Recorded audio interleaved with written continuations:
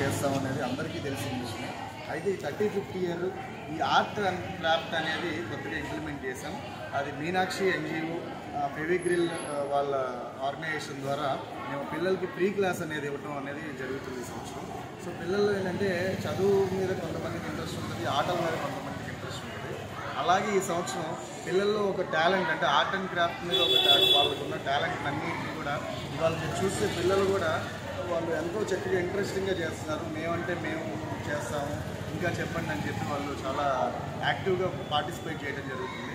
so ఇలాంటి art and craft ఇలాంటివి పెట్టడం వల్ల ఏంటంటే పిల్లల్లో నైపుణ్యత అంతా పెరిగి వాళ్ళలో ఓన్ టాలెంట్ ఓన్ క్రియేటివిటీ అనేది పెరగడం అనేది జరుగుతుందని ఉద్దేశించి మేము ఈ స్కూల్లో ఈ థర్టీ ఫిఫ్త్ ఇయర్కి పిల్లలకి ఒక గిఫ్ట్ లాగా ఇచ్చి మాకు మీనాక్షి ఎన్జిఓ వాళ్ళ ద్వారా మేము పిల్లలకి ఫ్రీ గిఫ్ట్ ఇస్తున్నామని గర్వంగా